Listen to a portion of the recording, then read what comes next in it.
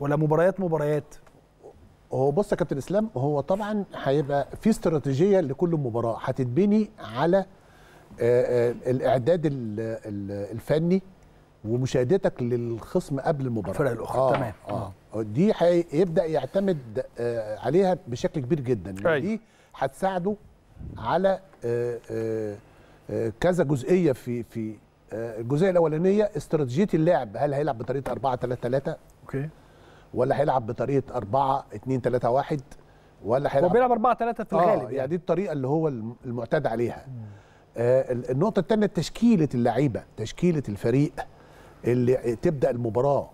آه تشكيلة أمثل آه. آه بالنسبة له؟ هل بتجمع لعيبة آه عندها الجانب الدفاعي والجانب الهجومي؟ وأفتكر إن دي أفضل. اللي هي؟ يبقى, عندك لعيبة بتجمع بين الاتنين. الشقين. okay.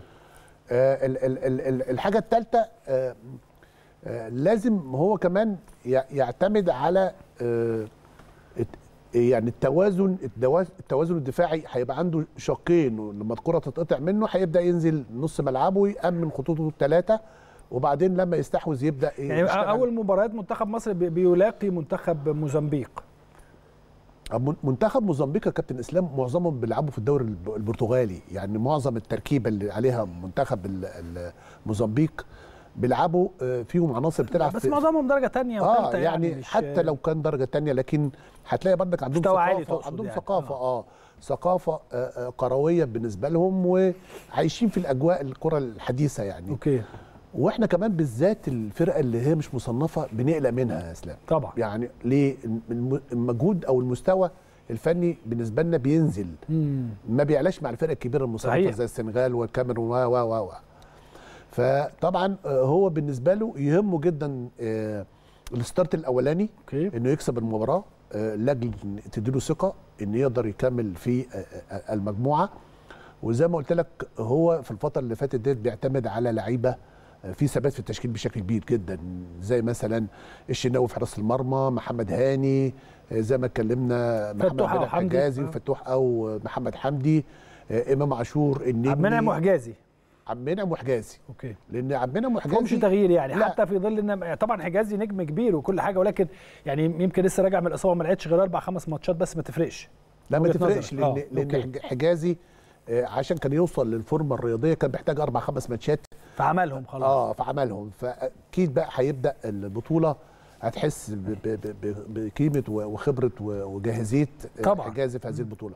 محمد عبد المنعم لأنه لعبوا مع بعض إسلام لعبوا مع بعض فترات لا وحجازي. نجم كبير الحقيقة. يستطيع إن هو يتكيف على الظروف اللي. موجودة. ومع أي حد. صحيح. لأن لأن آه، طبعا الخبرة هنا ليها دور كبير جدا وهو تقدر تقول الخبرة اللي موجودة في خط الظهر زي الشناوي آه، في حراسة المرمى. وبعدين عندنا الخبرة الثانية اللي موجودة النني. اللي موجود في نص الملعب. آه. مهم جدا برضك النني بخبرته ويبقى حواليه بقى عندك آه، آه، آه، إمام عاشور أنا في رأيي آه،. حمدي فتحي زيزو, زيزو. يعني الاختيارات هتبقى لمستر آه، فيتوريا في الجزئية دي.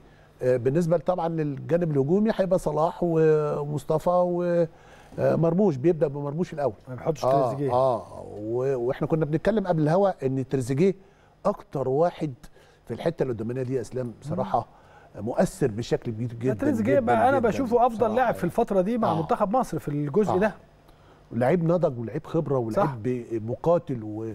وما بتفرقش معاه بقى بره ولا جوه يعني زي ما بيلعب بره وهو محترف أداؤه ثابت كمان مع منتخبنا القومي أداؤه ثابت بشكل كبير فده الشكل اللي ممكن مستر فيتوريا يعتمد عليه إحنا بقى عندنا نضج بشكل كبير جدا في الجانب الدفاعي. أيوة. بنعرف, نقفل كويس قوي. طبعا. وعندنا كمان كثافة عددية وانطلاقات بتعتمد على الأطراف. محمد هاني مع محمد صلاح. طبعا. آه حمدي آه أو آه زيزو. زيزو آه مع مرموش.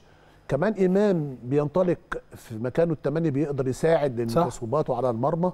حمدي فتحي كمان من اللعيبة اللي ناضجة بشكل كبير جدا وبتساعد في الحتة الهجومية.